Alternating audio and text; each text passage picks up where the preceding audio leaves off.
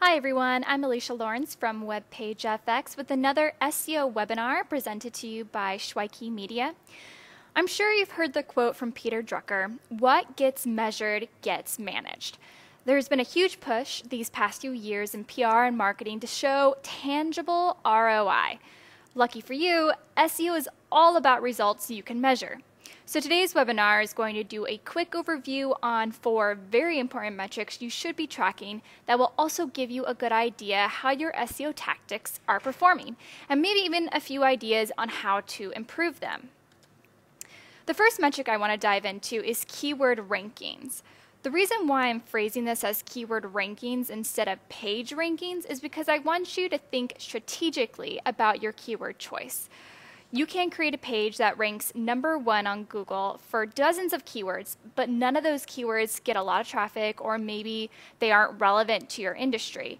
And therefore, it really doesn't produce you anything of value. And the people who would find it would bounce quickly off your site. And that's no good. You need to be optimizing your site and creating content to rank for the right keywords in order to get quality traffic that will convert. So if you haven't already, create a keyword mapping report so you can know what your target keywords are. When you're creating content, make sure you spend time finding the right keywords that are feasible to rank for and apply to your audience. Once you know your keywords, you can proceed in measuring how well you are doing. If you're familiar with Google Analytics, a few years ago, they started to take away your ability to see what keywords you're ranking for. I'm sure you've noticed by now the vague not set or not provided terms that now fill that place. So I'm going to pull up Google Analytics here. And the first thing I want to show you is actually how to see the keywords that are provided on Google Analytics. So you're going to go to acquisition and then all traffic and then channels. And then if you go up here to other and click it, you can put in landing page. This is going to show you keywords by a specific landing page. And then on second dimension, do keywords. And now you're going to be able to see once Google shows you the results that the majority of them are not set, not provided.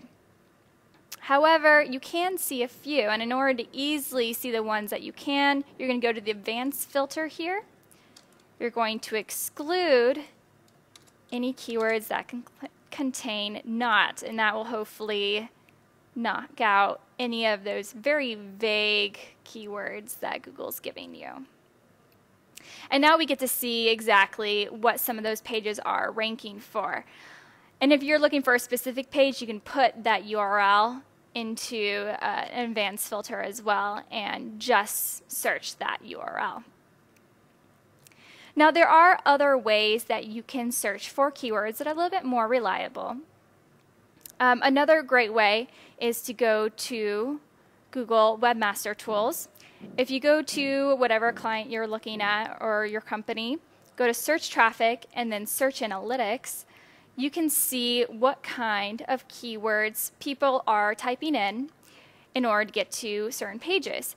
Um, for this one, I like to usually see either click-through rate or position to see if there's any low-hanging fruits uh, that might be good to kind of put some SEO love on and help them get to that first spot. For example, toothache or toothache relief, um, tooth pain even. Maybe I could focus on a piece of content that relates to these keywords and hopefully build out that keyword base and get to the number one spot. Another great tool to use, but it is paid, is Ahrefs. And that one, they just came out with this. You can see the organic keywords, but what you do is you have to actually type in a specific domain. So for this one, I'm doing one of my clients that I created a infographic for. I want to see what keywords it's now ranking. Um, since we're based in the US, I'm going to choose the US choice down here under organic keywords. And it's going to pop up all those keywords that it's showing that it's ranking for, even uh, the volume and how many results and when it was last updated. The next keyword tool that I'm going to show you is one that we probably use most at WebPageFX for clients. RankWatch allows you to easily keep track of any keywords that are kind of your goal for ranking in, in Google or any of the search engines. The only bad thing about RankWatch is you actually have to find those keywords, whether it's through your keyword mapping report or whether it's through another tool like Ahrefs or uh, SEMrush to see what exactly you should be putting in and adding to RankWatch so that it can watch your ranks. Um, of course, this is a paid tool, um, but it gives you a lot of insight into how many even spaces your keywords are moving up or down. Um, and you can even do a specific keyword that you're looking for uh, to get a better idea of how you're ranking throughout the month for that keyword. So it's a, definitely a great resource to easily keep track of all those keywords. And lastly, SEMrush um, is a tool that you can use to help see what keywords you're ranking for organically. Uh, for this one, all you have to do is put in the URL, just like Ahrefs, and click Organic Research, and it's going to show you all the keywords that that page is ranking for that so far SEMrush has cataloged in their system. Now, if you just publish a post and you look on this, you probably won't find anything, even if you might find that you're ranking on the web for a few keywords, just because they haven't updated their system yet. The second metric I want to go over is traffic. As a result of ranking better, you will see your traffic go up, which is great as long as it's quality traffic.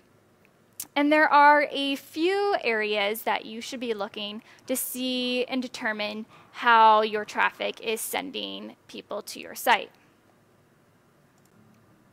Going back to Google Analytics, going under Acquisition, All Traffic, and then Channels, you'll once again see that it has uh, a few main default channel groupings.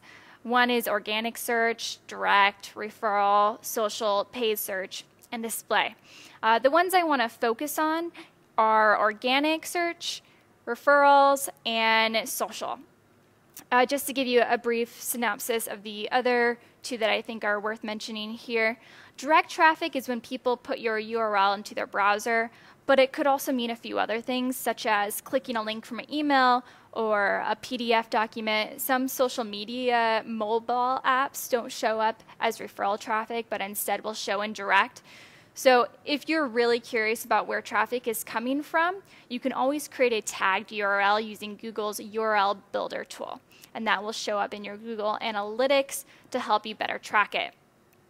Also, uh, traffic from paid search is uh, very good to explore, especially if you're running ads. Um, it'll help you analyze how well your online ad is converting, which is important. Now, organic traffic, which you can just click on the channel grouping and it will show you a little bit more in depth what kind of uh, pages are ranking organically and also what keywords are doing it. Um, you can switch to landing page up here under primary dimension if you'd want to see that version of it. So you can tell that uh, toothache home remedies uh, really is getting a lot of traffic, and we also saw that that was a hot topic in our Google Webmaster tools for this client.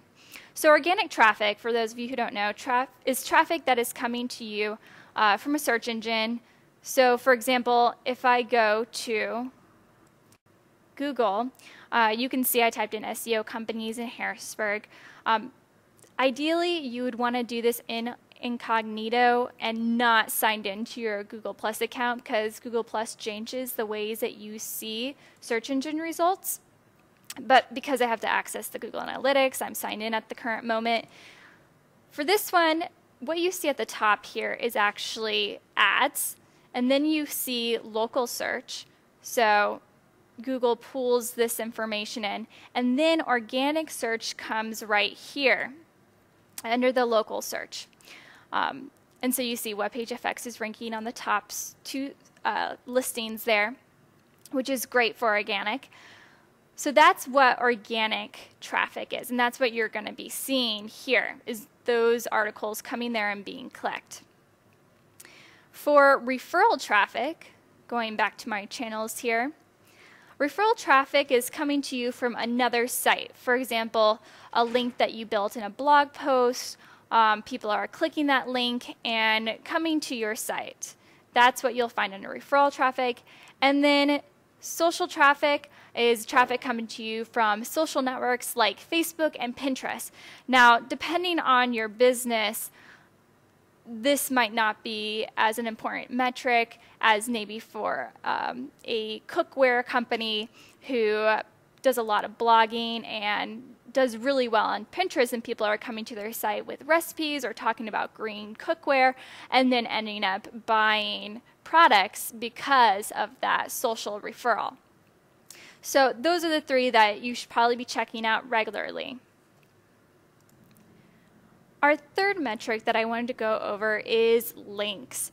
Though sometimes criticized, link building correctly is still one of the best things you can do for your SEO, besides optimizing your site in general. You can generally see links impact in the search engine result pages when rankings increase and your domain authority, which is Moz's metrics for the overall rankings of your site, increases as well. Um, like I mentioned, under traffic, you can also tell if links are doing a, a, good job, not just with building domain authority and building the rankings to your pages, but also with referral traffic, which is sometimes forgotten about when link building. You focus on just getting a link when you should also be focusing on a quality link that will be clicked and then send referral traffic to your site.